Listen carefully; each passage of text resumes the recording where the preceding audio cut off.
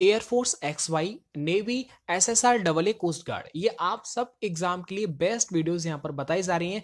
यहाँ पर S S C M T S कुछ अलग नहीं है, वो भी आप यहीं से देख सकते हैं। ये सारे क्वेश्चंस वो हैं जो एग्ज़ाम में आ चुके हैं। अगर जिस भी क्वेश्चन का लेवल बहुत हाई है, वो आपके एग्ज़ाम के लायक नहीं है तो उसको मैंने इसमें इंक्लूड नहीं किया है। दोस्तों, इससे पहले जो पार्ट है, वो डिस्क्रिप्शन में लिंक दे रखा है। वो आप देख लीजिएगा, उसके बाद आप इसे देखें तो बेस्ट रहेगा। यहाँ पर बात की जा रही है कि we watched the basket maker. We watched the basket maker and realise that he was proficient at his craft अब आपको एक चीज़ समझ लेना है कि भाई ये प्रोफिशियंट जो लिखा हुआ है, इस प्रोफिशियंट की जगह पर क्या आ सकता है? समझ में आ गया? प्रोफिशियंट की जगह पर आ सकता है पास्ट मास्टर पहले समझो मैंने पास्ट मास्टर क्यों बोला? पास्ट मास्टर इसलिए बोला कि ऐसा व्यक्ति जिसे किसी भी विषय कार्य में एक लंबा अनुभव होता है।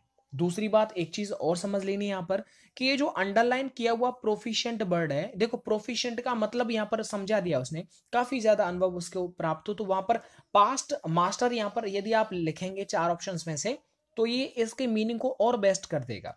एक बात और समझ लीजिएगा कि जो ये पास्ट मास्टर लिखा है ना हमने यानी कि जो अंडरलाइन किया हुआ जो पार्ट यहाँ पर जो जो, दे रखा है प्रोफिशियंट वाला इसके बाद प्रिपोजिशन क्या आ रहा है बताओ एट आ रहा है। इससे हमें एक चीज़ मालूम चलती है कि पास्ट मास्टर के बाद ही एट आता है। तो मैंने एकदम दो दो तरीके से चेक कर लिया कि अगर मैं इस जगह पास्ट मास्टर लिखूँगा तो इसके बाद जो प्रपोजन आ रही है, क्या वो पास्ट मास्टर के बाद आती है या नहीं? आती है। तो इसका मतलब एकदम सही है भाई कि सी वाला यहाँ पर आ जाएगा। एकदम क्लियर है ना? एक देखो एक्सपर्ट आप सबको याद होना चाहिए। देखो, आप ये चीज़ सोचो, यदि आप एक्सपर्ट यहाँ पर लगाएँगे तो उसके बाद क्या एक्सपर्ट के बाद एट आता है? नहीं आता। एक्सपर्ट का मतलब होता है अनुभवी और एक्सपर्ट के बाद आता है इन यहाँ पर तो एट आ रहा है तो एक्सपर्ट आ नहीं सकता। एक वेटरन वेटरन का मतलब जिसे काफ़ी अनुभव हो तो वेटरन और वेटरन के बाद कौन सा प्रिपोजिशन आता बताओ? इन आता है। यहाँ तो एट आ रहा है, ये तो गलत हो जाएगा। प्रोफिशियंट प्रोफिशियंट का मतलब होता है जब कोई कुशल एकदम अपने काम में एकदम दक्ष हो। और एक और बात प्रोफिशियंट के साथ आने वाला जो प्रपोजन होता है, वो इन होता है, ना कि एट तो देखो सर, मैंने आपको ये पूरे ऑप्शन यहाँ पर आपको एकदम एक्सपोज कर दिए। बिल्कुल नंगे करके समझा दिए। समझ में आ गया? मतलब सारे क्वेश्चंस को मैं समझाते जा रहा हूँ, आपके कोई डाउट नहीं रहना चाहिए। यहाँ से आप कॉपी कर लीजिए, कुछ भी समझ लीजिए आप मतलब। आगे देखो थर्टी क्वेश्चन है कि a person who moves from one place to another place specially in order to find work यानी एक व्यक्ति जो एक जगह से दूसरी जगह घूमता फिरता रहता है, किस जगह कि उसे कोई काम मिल जाए। ठीक है? आप देखो जैसे आपको पता है ना, आप अपने घर से आप कोचिंग जाते हैं, लेकिन आपका इनडायरेक्टली जो मोटिव होता है, वो एक नौकरी लेना है। बहुत अच्छी बात है, पढ़ाई लिखाई करो, नौकरी ज़रूर मिल जाएगी। अब उस व्यक्ति को हम क्या बोलते हैं? उसको बोलते हैं माइग्रेंट क्या बोलते हैं उसे? मिग्रेंट बोलते हैं, जो व्यक्ति किसी जॉब के जॉब के बारे में मतलब इधर उधर घूमता फिरता है कि भैया कोई जॉब दे दो तो वो काम करता है, मेहनत करता है और उसको जॉब मिल जाता है। तो उसे बोलते हैं माइग्रेंट अच्छा माइग्रेंट जो होता है ना, वो क्या होता है, रोज़गार की तलाश में एक जगह से दूसरे स्थान पर घूमने वाला ना, उसे प्रवासी उसे बोलते हैं तो माइग्रेंट हो जाएगा। एक चीज़ देखो डोमिसाइल का मतलब होता है जहाँ पर रहते हैं डोमिसाइल निवास स्थान को बोलते हैं। वैग्रेंट मतलब होता है कि इसका हिंदी नहीं पता बट आप देख लीजिए क्या है। एक होता है इमिग्रेंट इमिग्रेंट का मतलब होता है अप्रवासी। समझ में आ गया? चलेगा। आगे हम बात करते हैं कि मर्डर ऑफ़ अ ब्रदर भाई का हत्या करने वाला। तो मर्डर हो जाएगा तो भाई की हत्या हो गई। अब उसको बोलते क्या है?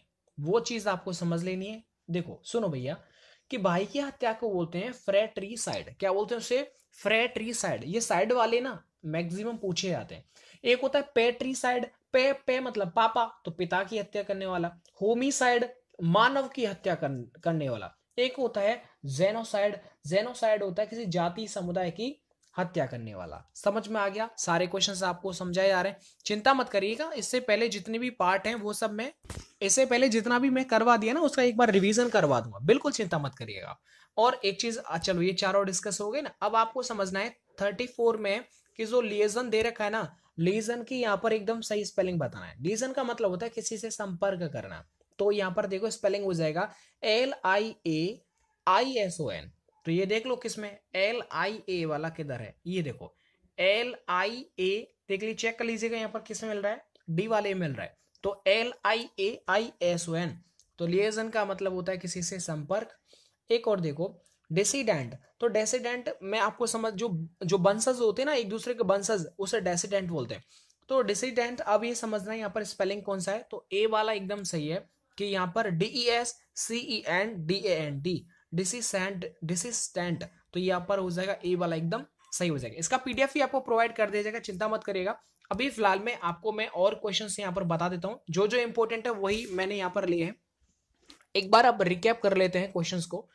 यहाँ पर समझ लेना है कि अगर कभी भी बीच में लेस्ट आ जाए तो लेस्ट के बाद जो मॉडल लगता है, वो शुड लगता है। क्या लगता है? शुड लगता है। इतना आपको समझ में आया कि नहीं आया? तो मे की जगह पर शुड हो जाएगा।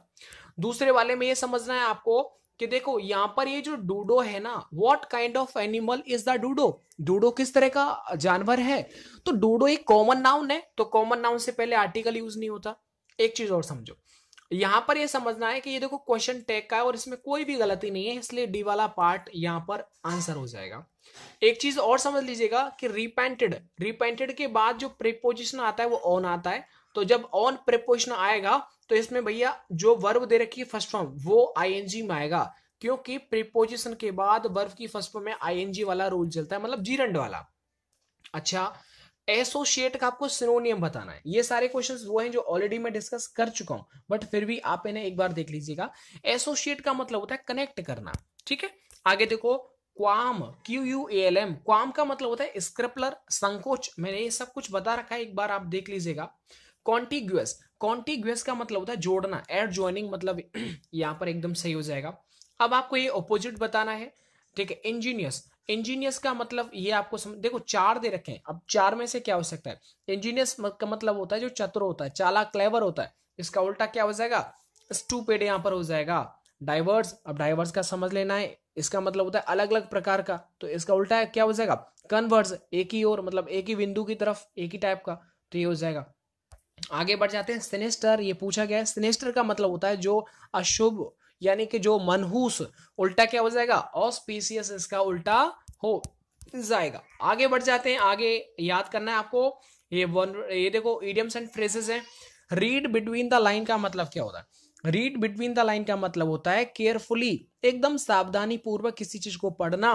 दैट इज़ कॉल्ड केयरफुली आगे देखो act on the square act on the square का मतलब होता है ईमानदारी। तो ऑनेस्ट यहाँ पर सही हो जाएगा। आगे देखो रियली इन द सोप ठीक है? इन द सोप का मतलब समझ लेना है इसका मतलब होता है इन द सोप का मतलब होता है इन डीप ट्रबल कठिन परेशानियों से गिरा डेढ़ तो ये हो जाएगा बी वाला एकदम सही आंसर हो जाएगा। सिर्फ़ रिवीजन करवाया जा रहा है समझाया नहीं जा रहा है। Let the cat out of the bag इसका मतलब ये हो गया कि एक्सपोज सीक्रेट किसी भी रहस्य को खोल देना। आगे बढ़ जाते हैं, एक और देख लीजिएगा। स्प्लिटिंग हेयर स्प्लिटिंग हेयर मतलब बाल की खाल निकालना। तो इसका आंसर हो जाएगा आपका कि डिस्प्यूटिंग ओवर पैटी पॉइंट छोटे छोटी चीज़ों के ऊपर झगड़ा वगड़ा। आगे एक चीज़ और समझ लेना है कि बीच में देखो कनेक्टेड कनेक्शन आ रहा है। इफ़ का तो इफ़ से पहले पास्ट यूज़ हुआ है तो इसके बाद भी पास्ट आएगा। तो पास्ट किसमें होगा? बर्व में। तो इस गेट की जगह पर पास्ट आ जाएगा गॉट समझ में आ गया? आगे बढ़ जाते हैं। आगे आपको समझ लेना है कि यहाँ पर प्रोफिशियंट की जगह पर इनमें से क्या आ सकता है। प्रो तो प्रोफिशियंट के बाद आ रहा है एट तो सिर्फ़ पास्ट मास्टर यानी जिसके पास काफ़ी बड़ा अनुभव हो, उसे बोलते हैं पास्ट मास्टर तो हमको इतना तो पता है कि भैया, इस प्रोफिशियंट की जगह पर पास्ट मास्टर आएगा। ऐसा क्यों बोला? क्योंकि पास्ट मास्टर के बाद ही एट यहाँ पर आता है। बिल्कुल सही। देखो वेटेरन वेटरन मैंने जितने भी पॉइंट मैं अब, आपको बता रहा हूँ, वो ऑलरेडी डिस्कस कर लिए मैंने आपको। ऐसा कोई तोप नहीं चल रही है। देखो एक्सपर्ट के बाद इन आता है वेटरन के बाद इन आता है प्रोफिशियंट के बाद इन आता है। लेकिन पास्ट मास्टर है, जिसके बाद एट आता है, इसका मतलब सी वाला एकदम सही हो जाएगा। आगे देख लीजिएगा, आगे और भी अच्छे क्वेश्चंस हैं। एक व्यक्ति एक जगह से दूसरी जगह जॉब के लिए घूमता फिरता है, उसे मैग्रेंट बोलते हैं। आगे बढ़ जाते हैं कि भाई की हत्या करने वाले को क्या बोलते हैं? फ्रैट्री साइड पापा की पैट्री साइड हो जाएगा, और जो मानव की हत्या कर दे, वो होमिसाइड और किसी जाति धर्म की हत्या करने वाला उसे जेनोसाइड बोलते हैं। अब इनमें आपको समझना है कि इनमें कौन सी स्पेलिंग सही है और कौन सी स्पेलिंग गलत है। ये आपको आना चाहिए छांटना। तो ये हो जाएगा लिएजन एक तरह से डी वाला एकदम इसमें स्पेलिंग सही हो जाएगा और आगे है आपका थर्टी फ़ोन डेसिसडेंट तो ए वाला एकदम सही हो जाएगा। दोस्तों, मैंने यहाँ पर आपको रिविजन भी करवा दिया। ज़्यादा टाइम भी नहीं लिया आपका रिवीजन में बाकी जितने भी इसके और भी पार्ट काफ़ी सारे क्वेश्चंस पेपर हैं जो रिपीट हुए क्वेश्चन अलग अलग एग्ज़ाम्स में, उनको आप एक बार ज़रूर देख लीजिएगा। बाकी जितना मैं आपको करवा रहा हूँ, सारे क्वेश्चन रिपीट हुए आप यदि प्रैक्टिस सेट लगाते हैं तो आपको ये क्वेश्चन आपको मिलते होंगे। और आप मुझे बता सकते हैं कि जब से आपने हमारी वीडियोस ये देखना स्टार्ट किया, उसके बाद कुछ बदलाव हुआ, कुछ चेंज हुआ कि नहीं हुआ?